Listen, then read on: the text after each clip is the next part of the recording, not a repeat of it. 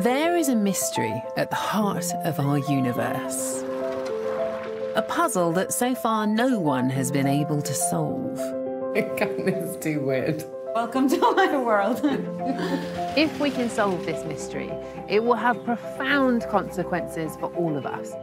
That mystery is why mathematical rules and patterns seem to infiltrate pretty much everything in the world around us.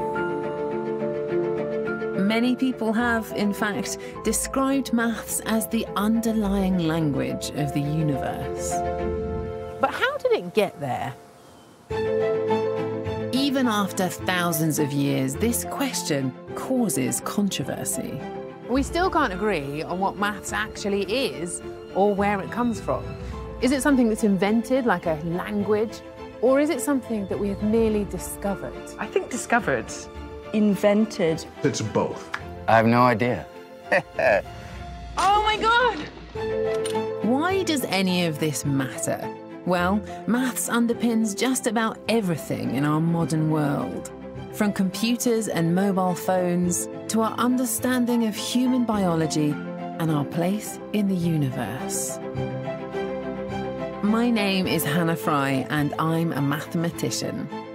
In this series, I will explore how the greatest thinkers in history have tried to explain the origins of maths' extraordinary power.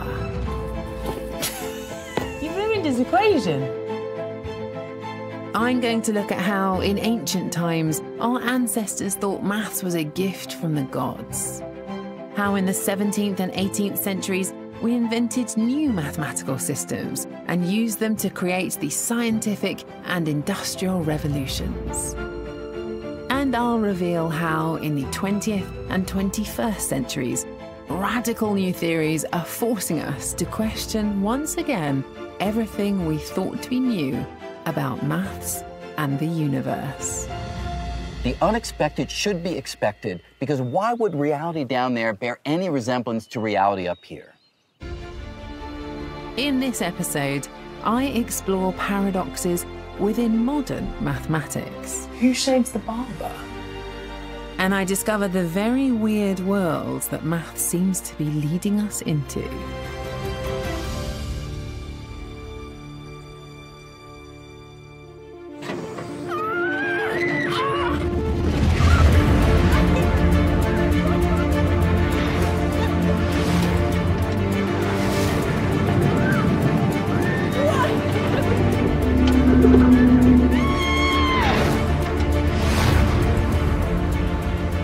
Is very much part of our modern world.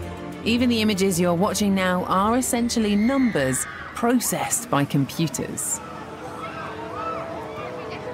Sorry, guys. Would you mind taking a photo of me? Oh, sure. Give me one second. Today, maths is at the heart of big business in the development of new software, such as facial recognition technology, all of which, fundamentally, is based on mathematical algorithms.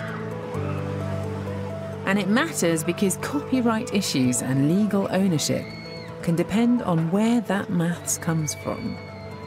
You can phrase the question like this Is maths a genuine, fundamental part of our universe, something that we have discovered? Or is it merely invented, a language that we've created just to describe the world around us?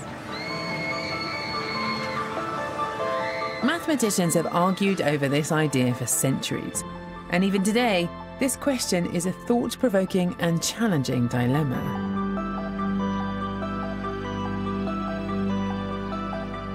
So far, I've explored how, in ancient times, maths was revered as a gift from the gods, perfect, complete, and gratefully discovered by humans. But through the ages, new areas of mathematics, like algebra and the concept of zero, have quite simply been invented. But for most of us, we normally think of maths as just a series of objective facts based in logic that someone somewhere has discovered. Facts that we all start to learn at school. If you're anything like me, you'll remember maths at school being taught has a series of rules that's very logical, it's very ordered, very complete, very black and white. There were right and wrong answers, which you didn't necessarily get in other subjects like art or like music, which were much more about preferences, about opinions, and about cultural differences. It felt like the mathematical rules were intrinsically true. But why? What are the fundamental mathematical laws? To answer that question, you have to categorize everything. You have to boil maths down into distinct groups of objects in something called set theory. Set theory is a language that talks about groups or sets of items. So, for example, the set of odd numbers are all the whole numbers that cannot neatly divided by two. And the set of even numbers are those that can.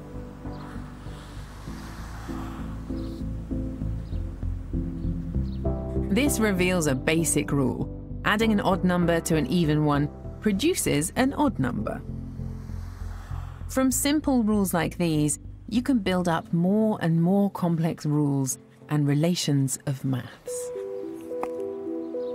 But there's a problem with set theory, a paradox at the heart of mathematical rules which caused a bit of a crisis at the start of the 20th century. You can discover this paradox yourself by going to your local hairdresser or gentleman's barber and trying to define what you find in a concise and complete way. Hello. Hello. I was wondering if you could help me. I am looking for the very definition of a barber. I think I can help with that. Mathematicians took the same approach to precisely define the laws of maths. So, if you were looking it up in a dictionary, like one sentence that defined what a barber was, what would you say it was? Cut men's hair. Cut men's hair. But that could be a hairdresser, though, right? Hairdresser. It needs to be a unique definition for barbers. Barbers and only barbers. Is there this shaving element as well, isn't there? Yeah, that's true. I've never had a shave in a hairdresser's. No, that's true. checked. The chat. That's yeah, very important. Stu's very There are important part of that- it. You do hear some stories being a barber. So actually, I suppose the shave thing is something that only barbers do. Mm. So someone who shaves men. But a barber doesn't shave all men. And I need a phrase that uniquely and completely identifies a barber and no one else. Okay, let's see where we are then. So we've got a barber shaves all men, but only the men who shave but don't shave themselves. Yes. Yes. All right, I think we've settled on something now. We've agreed on a barber shaves all men and only those men who shave but do not shave themselves. Sound about right? I mean, it doesn't exactly roll off the tongue, but I think it's fairly accurate. but hang on a second. There's a bit of a paradox here. Who shaves the barber? Well, can a barber not shave himself? But if he does shave himself, then our definition here says that he doesn't shave himself. Let me clarify that. If he doesn't shave himself, then according to the definition, he's one of the men shaved by the barber. So he does shave himself. Attempting to create a mathematically precise definition creates a contradiction where the barber both shaves himself and doesn't shave himself.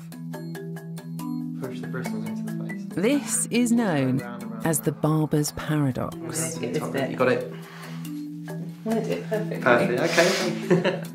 It is an illustration of the paradox at the heart of mathematics, which was discovered in 1901 by one of my favourite troublemakers, Bertrand Russell.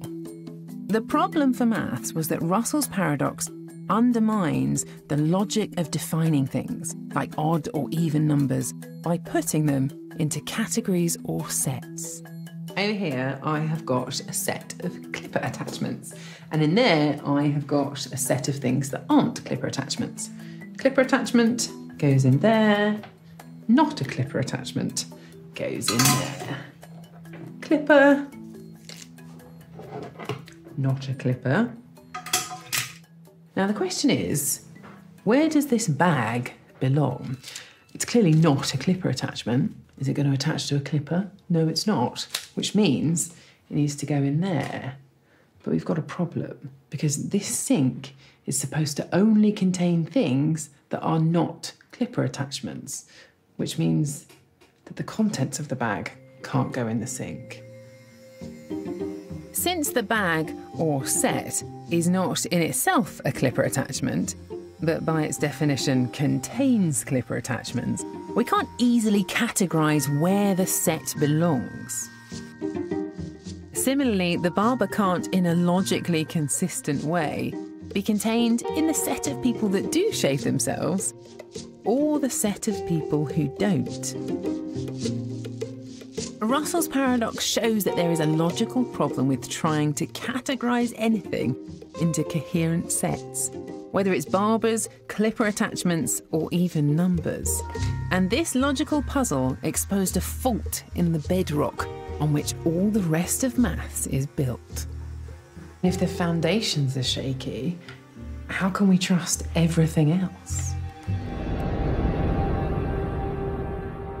Bertrand Russell realized that mathematics was on much shakier ground than people had originally thought. That it turned out to be much, much harder to really lay a solid foundation for math that everybody agreed on. And this is still wonderfully controversial to this day.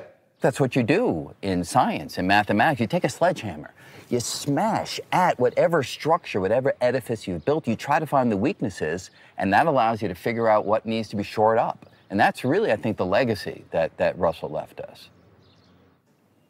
I think of it as, in some ways, the death knell, or at least a, a major challenge, the attempt to ground mathematics in logic. And that's the thing that becomes really hard in light of Russell's paradox.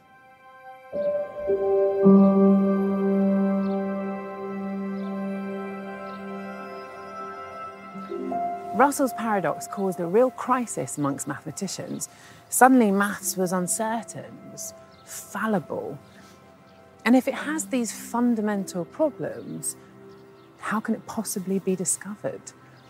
So, does that mean that maths has to be invented? Just a human language and all of the flaws that come with it? If maths is merely an invention of the human mind, it's perhaps not that surprising that it's not perfect. But I don't think I'm ready to accept the invention argument quite yet.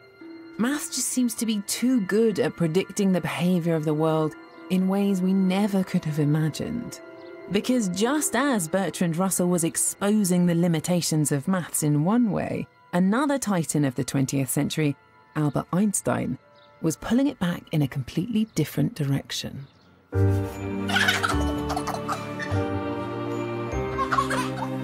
Take what is probably the most famous equation in the world. With just five symbols, it looks so simple, it's almost childish. Yet it contains some incredibly powerful mathematical and philosophical concepts. I'm talking, of course, about E equals mc squared. So E, that's energy, that is equal to m, that's mass, times by a constant c, that's the speed of light, squared. There is so much more to this equation than meets the eye.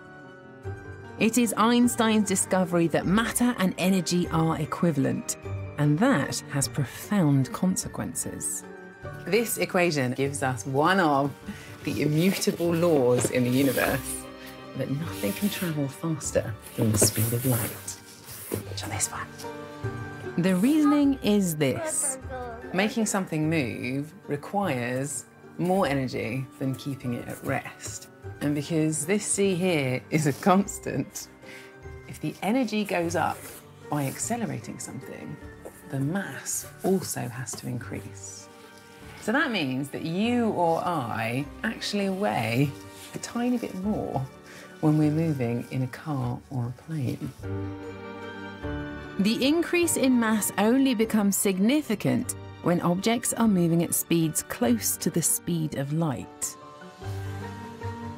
as an object approaches the speed of light, its mass rises faster and faster, which means it takes more energy to accelerate it further.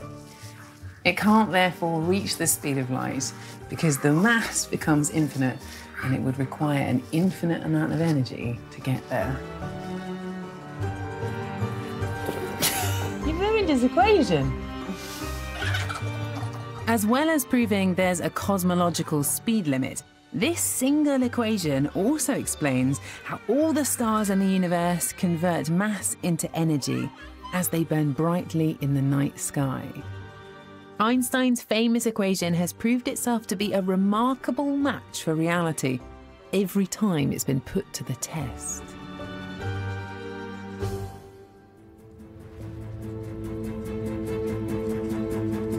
Einstein had uncovered one of the essential mathematical rules underlying the cosmos.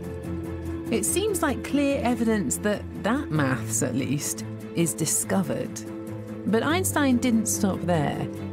Using the power of mathematics, he brought about a fundamental shift in our understanding of space and of time and of how light travels through space. To see that evidence for myself, I've come to an observatory to do some serious thinking about what we actually see when we look at stars in the sky, such as our sun. If things were happening right now, we wouldn't be able to see it until eight and a half minutes later because that's how long it takes the light to travel to the Earth. So when you're looking at the sun, you're seeing how it was eight and a half minutes ago. Exactly. And objects that are further away, uh, we see them as they were further back in time. So, for instance, there are other stars in our galaxy that are thousands of light years away, so we see them as they were thousands of years ago. So when you look in a telescope and you're you're seeing them how they were when people were building pyramids and Pythagoras was discovering his rules on Earth. Exactly. And, and we can see things that are even further away than that. So, galaxies outside our own galaxy, uh, we, we see many of them that, as they were a billion years ago or more.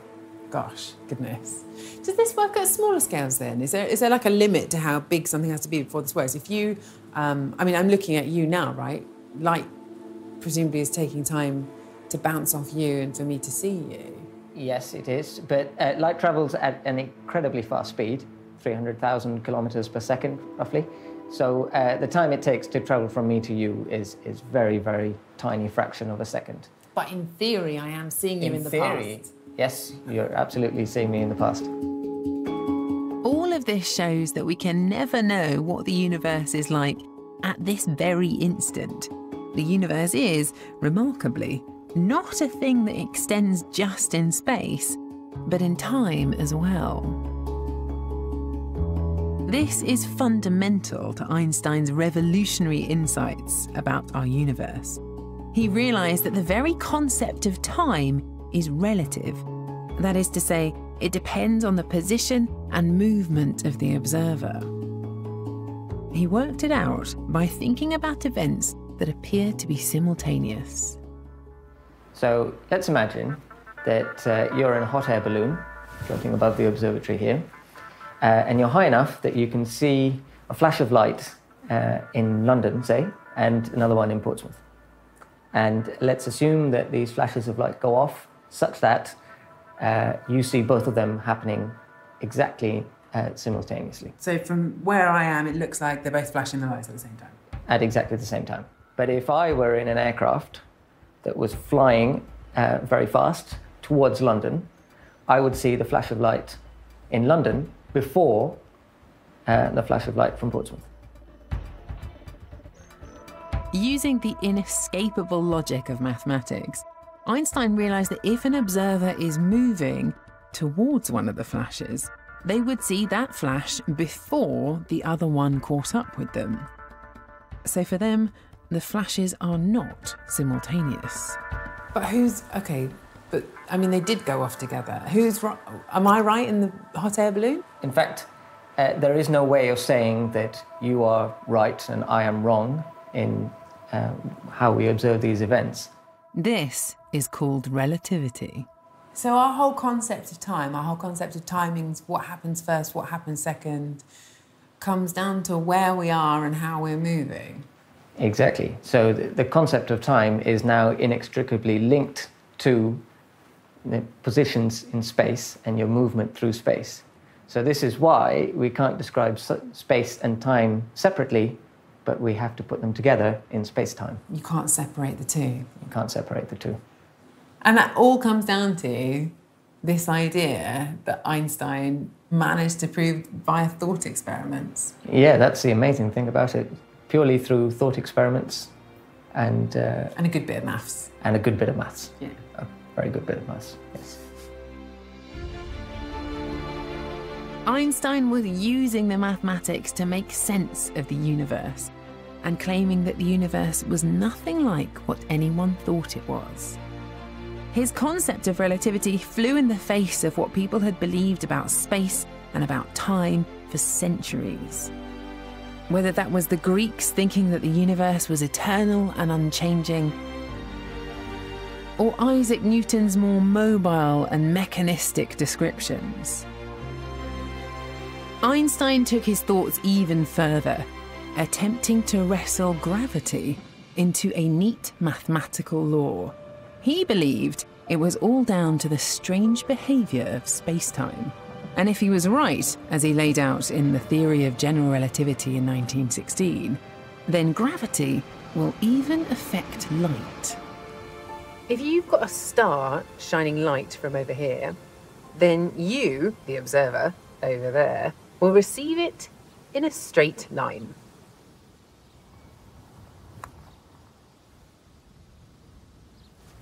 But if there's a massive object in the way, you might think you won't be able to see the star. However, Einstein predicted that the mass of an object will distort the space-time around it. And anything moving through that warped space-time will have to follow the curves. This warping of space-time, Einstein said, is what we usually describe as gravity. We think of gravity as keeping the planets in orbit around our Sun. In fact, he said, it's the result of the distortion of space-time near massive objects. And Einstein calculated the precise effect it would have on light. So, the starlight, while still technically travelling in a straight line, will follow the curves of space and appear around the object.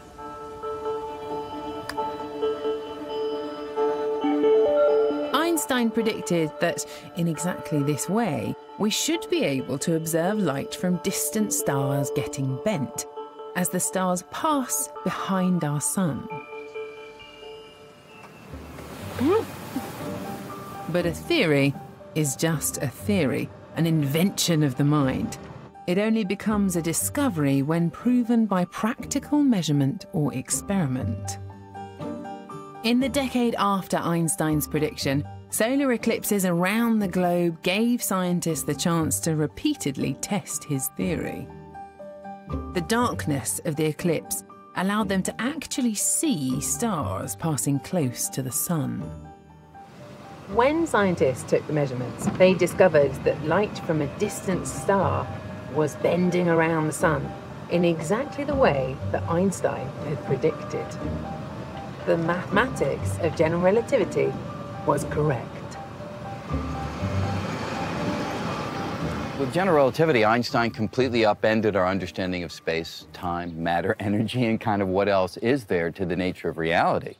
All of a sudden, we learned that mass and energy can warp the fabric of space and time in this beautiful, interconnected dance where the motion of matter affects the warping of space and time, which affects the motion of other matter.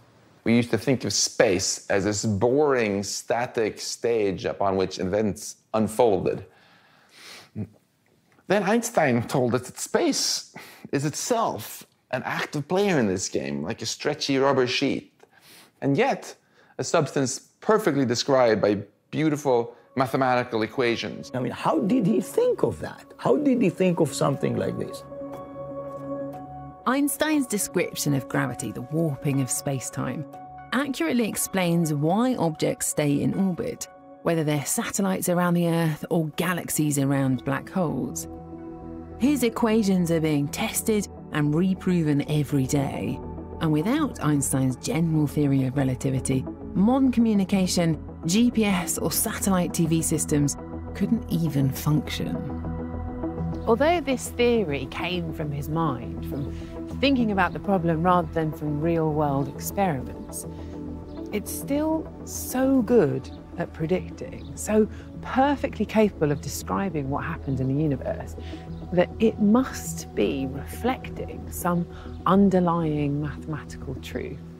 And this lends quite a lot of weight to the argument that mathematics is discovered, which is something that matches up with my own experience. Because when you're toying around with mathematics, it really does feel as though you're exploring something that already exists. But if we accept that maths does already exist and is an intrinsic part of nature, then surely all the rules are out there waiting to be discovered.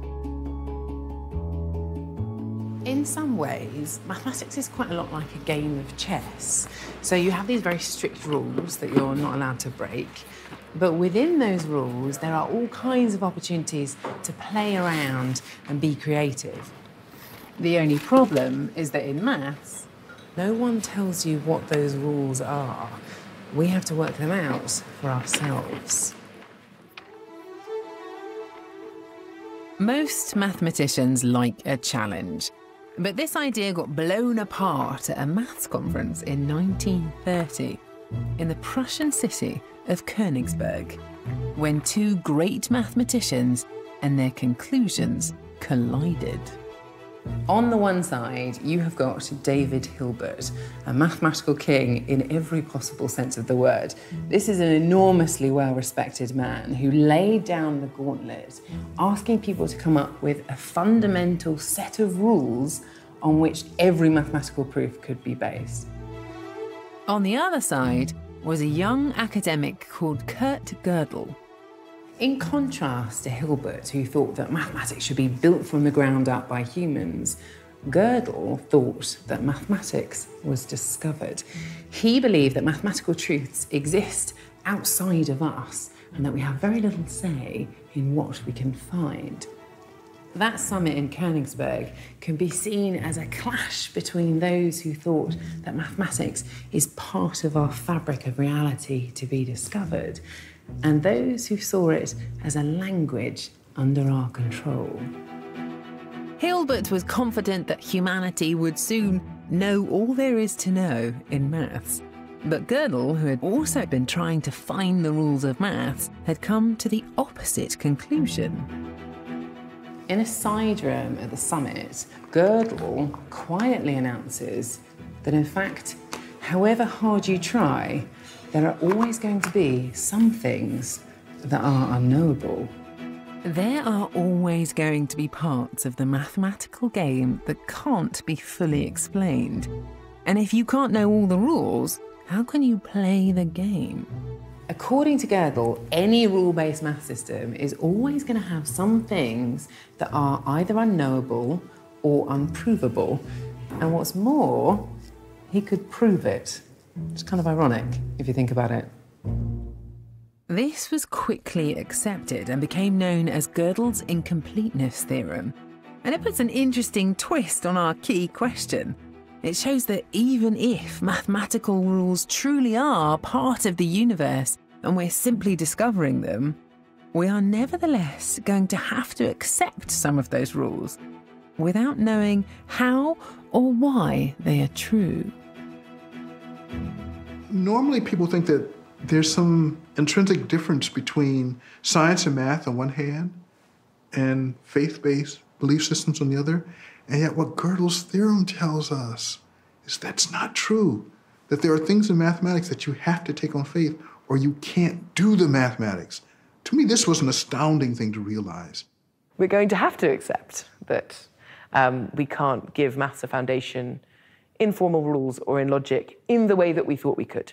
I think it's enormously exciting that math, in some sense, is open ended. So, in a sense, it puts an end to one way of thinking about mathematics, but I think it actually adds color and richness to the subject because it's just going to keep on going.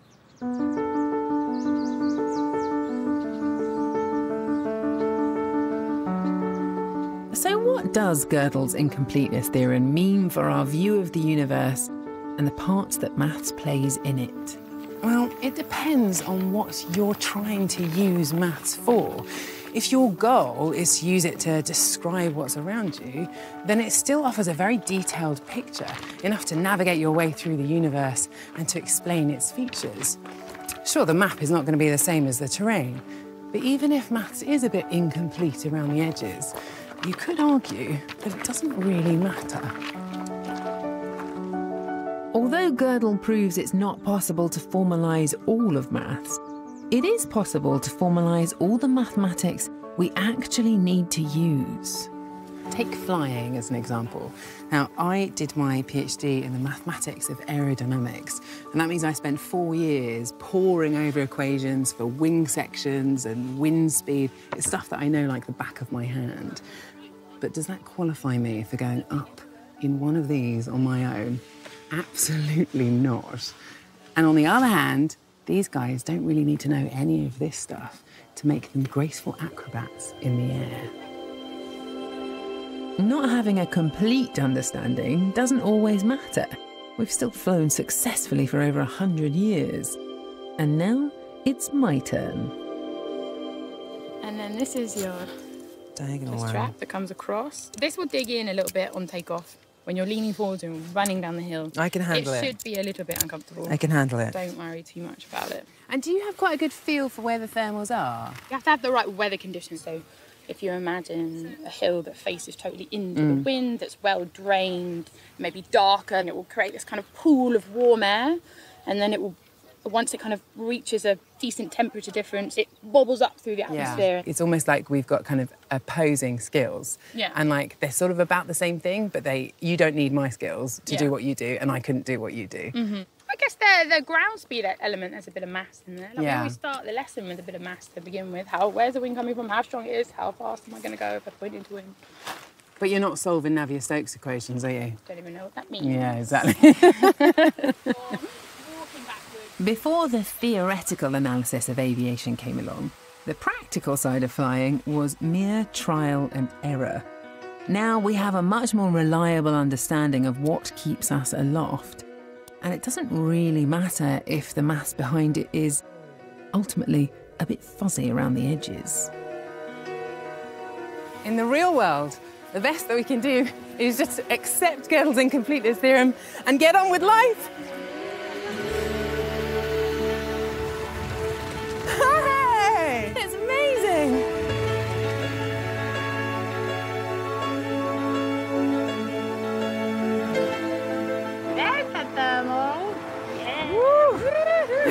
Much more, uh, a bit stronger. Yeah.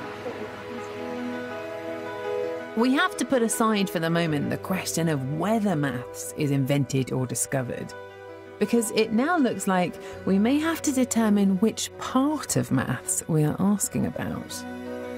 You see, for me, Gödel's work highlights the distinction between pure theoretical maths and practical applied maths. So here is how I see things. With mathematics, there's a split down the middle of the subject because the story changes depending on what world you start with, whether it's the real one or one that exists in our imaginations. And right now, when we're flying, this is very much in the realm of applied mathematics, where everything is tangible and practical and a little bit imprecise. But alongside that is where the more theoretical, pure mathematics lives. That's where you have your proofs, your paradoxes, and incompleteness theorems. A realm which doesn't match up with a physical reality, a sort of imperfect perfection. Even though I instinctively feel that maths is discovered, I like that there is this pure theoretical part of maths that isn't found in reality. And since the maths there doesn't need to match reality, It's a convenient place where we can leave all the weird, contradictory bits that we come across.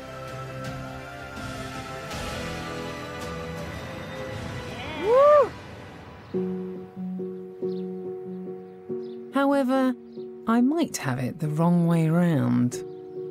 Although pure theoretical math seems rather divorced from reality, that might merely reflect the fact that reality is not quite what we think it is. And it's a reality that we can uncover through the strange maths of quantum physics. The weirdest worlds that most of us have come across are likely to be in fiction, such as this Alice's Adventures in Wonderland. Now, the author, Lewis Carroll, real name Charles Dodgson, was actually a mathematics don at Oxford and a staunch traditionalist. It's generally believed that much of this surreal story is a thinly veiled satire on the new avant garde math that was flourishing when he was writing in the 1860s still feels relevant today and applies equally well to the new weird kid on the block quantum physics. Take a close look at the physical world around us, and you can reduce it all to maths.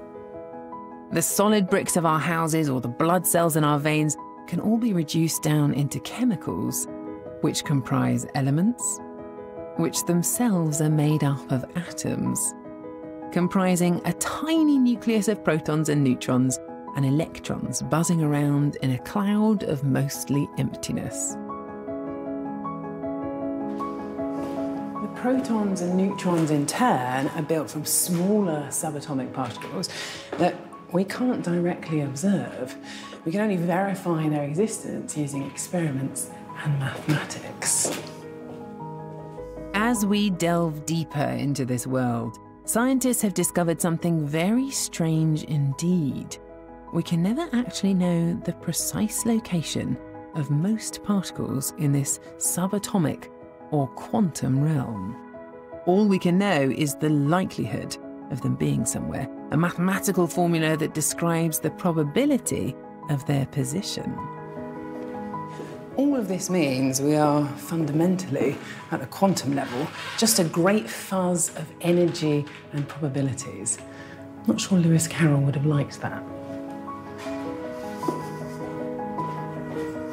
And the only way to explore this ill defined quantum world ooh, hello, is through mathematics, perfectly equipped to handle strange probabilities. It seems like there's quite a lot of uncertainty in quantum physics. Does that bother you? Um, no. When I heard that things were, you know, uncertain and also against our common sense in quantum physics, then I thought like, oh wow, that sounds interesting. I want to know more about that.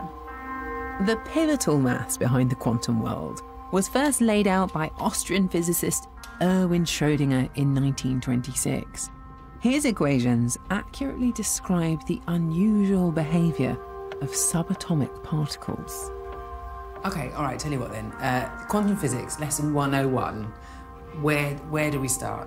Give me a lesson. Um, okay, I would say we have to start with superposition. So let's talk about electrons. So they're a very small particle and they can be in two states. Um, they have a, a, a state with spin and the spin can be pointing up or down. So if we were in the classical world, the spin could only be either up or down.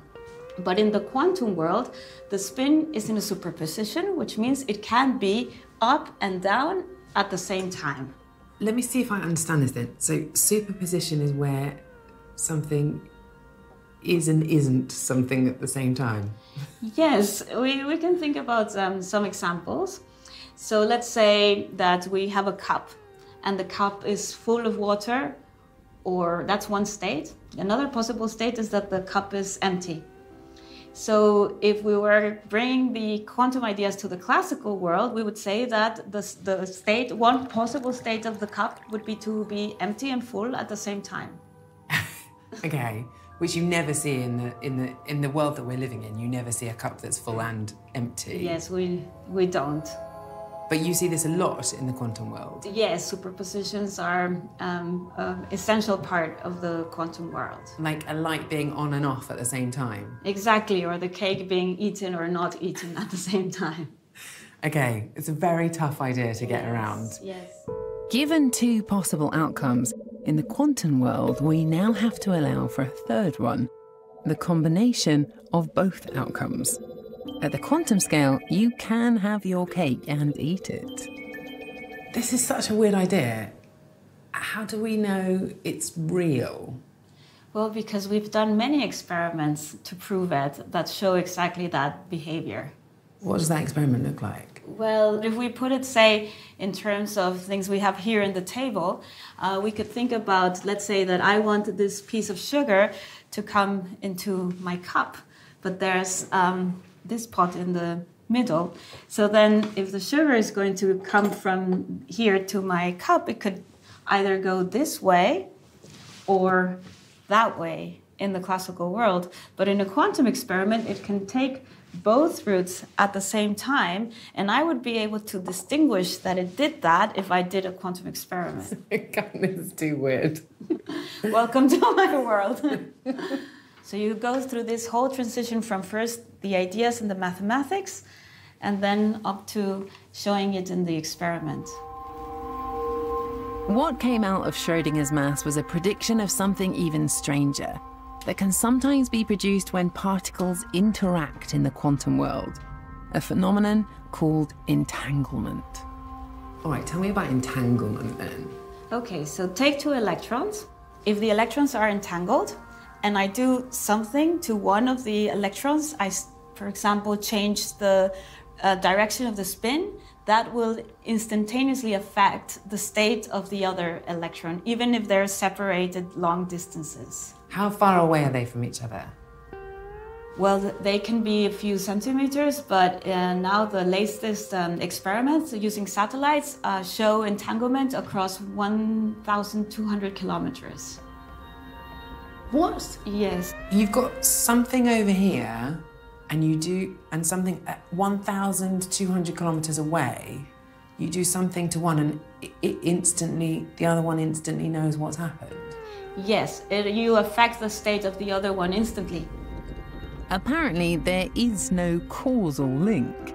The only thing we can say is that the two particles are synchronized. How does one know what the other one's doing? Well, that that we're still trying to understand because that's what mathematics tells us, and then we can show it in the experiment, but we're still struggling to understand what that means. And one of the reasons why we don't understand it in you know like you're asking is because we don't see it in our everyday life so um, let's say it's not part of our experience and common sense but that doesn't mean it doesn't happen So, quantum mathematics has made predictions which have been discovered to be true. But despite that, the quantum world is so weird. It suggests to me that the maths behind it is just invented. It feels like what we're seeing is evidence of a man made system being pushed too far. These are the absurdities that appear when it's applied to situations it wasn't designed for.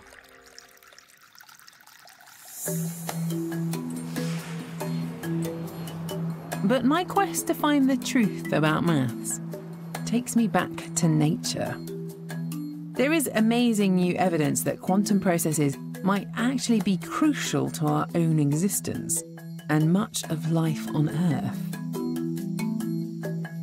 That would strengthen the argument that mathematical processes are intrinsic to our world, that maths is discovered. It all comes down to photosynthesis, the process that converts sunlight into chemical energy used in life. It takes place in molecules called chlorophyll, which can be found in plants, algae, and bacteria. In bacteria, we have something that's similar to what we have in plants. So this is the stuff that, that, that captures the sunlight? Exactly. Each of these molecules, each of these little blue things here that I'm showing, is a bacterial chlorophyll, and if we take it apart, it will capture light. The chlorophyll captures light by absorbing particles of light, or photons. So a photon is absorbed and is absorbed by all of them. So energy is shared by all of these bacterial chlorophylls. And that sharing, we call it, is in a quantum superposition. Because it's coming in and hitting one of these, but all of them are somehow. In a way, it's as if each of the electrons of the chlorophylls are talking to each other and sharing the energy around. The subatomic particles in the chlorophyll are synchronized in a way that can only be described by quantum mechanics. Does it do a good job? I mean, is it efficient? That is part of why photosynthesis is efficient, because by sharing the energy among all of them, it's easier to transfer the energy to another molecule. Imagine if you have to share the energy one by one, you have to explore each path separately. But if you share the energy all together, you explore all the paths at the same time. Every leaf on every plant on the planet has been following these quantum rules for millions of years, and we still don't fully understand how they do it. Without quantum physics, despite all the mathematical uncertainties and ambiguities, plants wouldn't produce oxygen so efficiently. And without oxygen, we wouldn't exist. These systems are amazing because they are effectively at the interface between using a little bit of classical mechanics and a little bit of quantum mechanics to operate in a wonderful way. Ultimately, quantum mechanics is at the heart of photosynthesis and, well, I guess all of life on Earth. It is. It is. We can say life is nothing but quantum mechanics giving us energy. So, what does all this mean for our key question about the origins of maths? There is no shortage of evidence that mathematical rules are intrinsic to the world. We keep discovering them everywhere. However, we now know we have to take some of that maths on faith, and believing in the numbers is taking us to a very strange world, with crazy notions like superposition and entanglement at the core of it. Quantum mathematics is inextricably linked to the world as we know it, or as we knew it, because the world is actually a whole lot weirder than we thought. What quantum mechanics does do is force us to question what is real and what is reality anyway.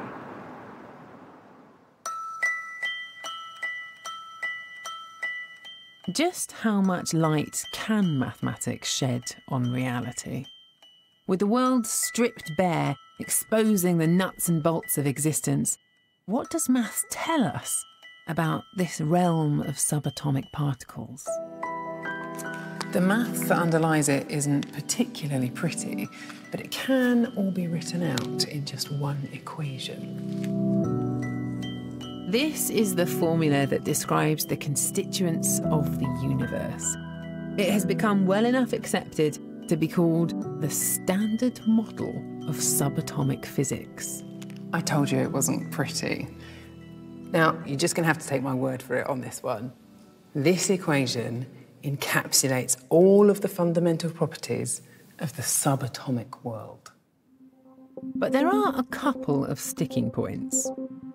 For one thing, no one has ever satisfactorily explained how our common sense, day to day version of the world emerges from this kind of subatomic reality.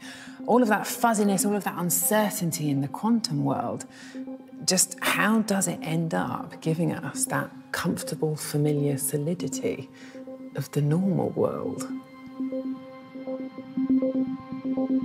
At the other end of the spectrum, the solar system and beyond is beautifully and accurately described by a different equation Einstein's general relativity. This remarkable equation tells you about gravity, about the warping of space time, about general relativity. And when you take these two together, these two single mathematical sentences, they're enough to tell you everything you need about the fundamental behavior of the universe and everything in it. There is nothing more articulate than mathematics. maths seems to be written into the physical universe. So, on the one hand, at the teeny tiny scale, the standard model of particle physics does this amazing job. And in the ginormous scale, general relativity, I mean, you, you couldn't ask for anything more. There's just one problem when you try and put these two together they're incompatible. The problem is that general relativity breaks down in the quantum world. Gravity simply doesn't apply to particles at the subatomic scale. Meanwhile, quantum effects are virtually never seen at the scale of humans and planets where gravity rules. You and I are never in a superposition of existing and not existing at the same time. So, what does this mean for us? Are there two different worlds, each obeying their own set of mathematical laws? Solving this conundrum is one of the biggest problems that puzzles scientists today. Will we ever reconcile the two? I think it's perfectly plausible that within our lifetime, somebody, maybe somebody watching this program, will discover the mathematical structure which unifies Einstein's theory of relativity with quantum mechanics and just provides a perfect description of this world. That would be really exciting. Will we have one? How do I know? Uh, we would all like to have one, but uh, you know maybe we are not smart enough to formulate a theory that combines everything. Uh, it, it, it's it's hard.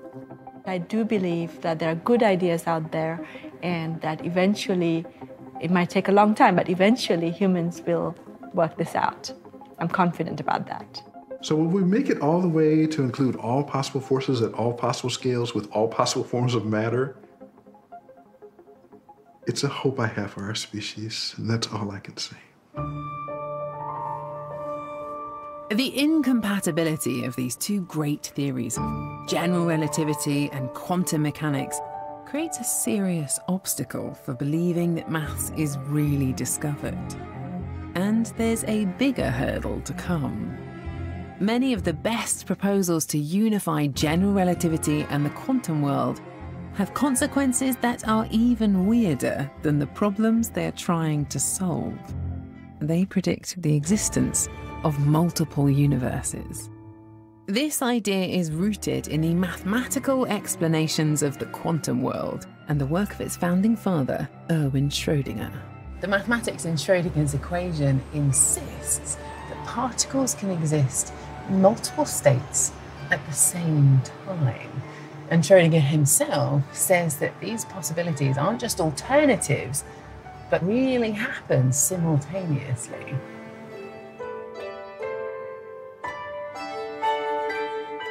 This can lead to multiple universes, and the maths also suggests there's an infinite number of them, each slightly different from the others. Thank you.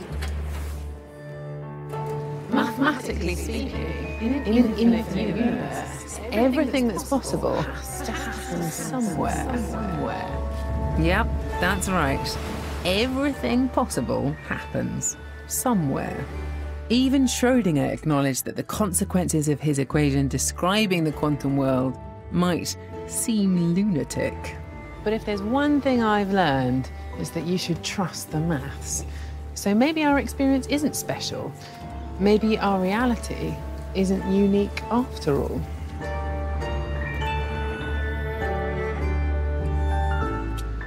There are so many distinct avenues of investigation that lead to the possibility of a multiverse.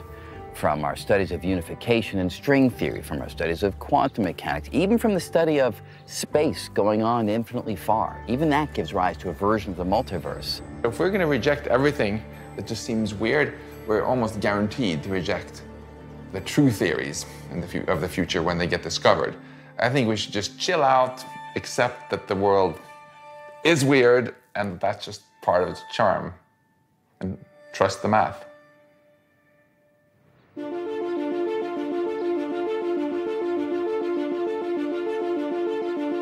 So, why does all of this matter? Well, if maths really is discovered, then there is an intrinsic truth behind the maths we uncover, however weird that truth seems to be. If maths is invented, then how do we know what is true or false? Is it true purely because we define it so? And how does it relate to the real world that we all experience? This series, we've seen that maths can explain so much of our world, from aerodynamics to planetary orbits, from the subatomic world to processes crucial to life on Earth. And that is something I just can't accept as a coincidence. So here's my take on things. For me, it's almost as though you have this alternate, parallel mathematical world that hides just beneath our own. You can't see it, you can't touch it. The only way that you can explore it is by using the language that we've invented.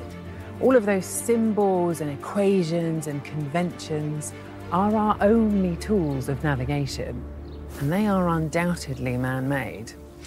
But once you're inside that world, once you're exploring the landscape that mathematics has laid out in front of you, I am absolutely convinced that you are on a voyage of discovery.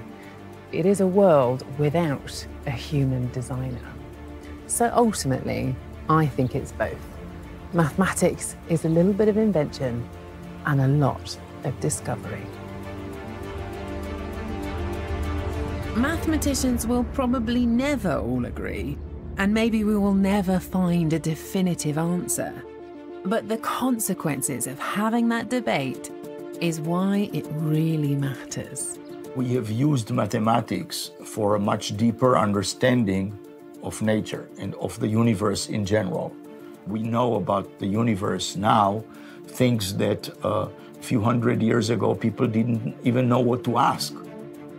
Searching for the truth about maths has, over 2,000 years of history, transformed the human experience. Discovering patterns everywhere in nature has given us structure, beauty, and inspiration. Inventing new areas of maths has led to an explosion of technology that ultimately underpins modern trade and computing. We have discovered powerful rules that we continue to use to explore, enhance, and explain the world around us. And we have had a tantalizing glimpse of what could be to come. It's quite possible that what we have been doing in science for all these centuries is, in some sense, looking for our keys under the lamppost we have been able to use mathematics to describe what happens out there, but that could be the tip of an iceberg of reality that we as yet don't have any understanding of, haven't yet had any contact with. But most of all, I think that asking questions about the origins and truth of maths has given us a purpose. It's given us understanding. Ultimately, maths has given us meaning.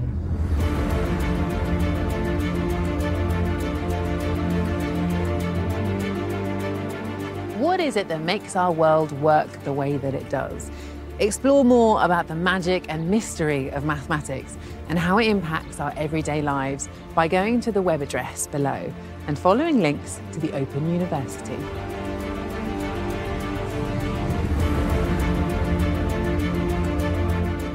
Tomorrow, Brian Cox wonders if we will ever find aliens. Human Universe is here at 8. Next tonight on BBC4, David Livingstone and the missionaries who changed the face of empire.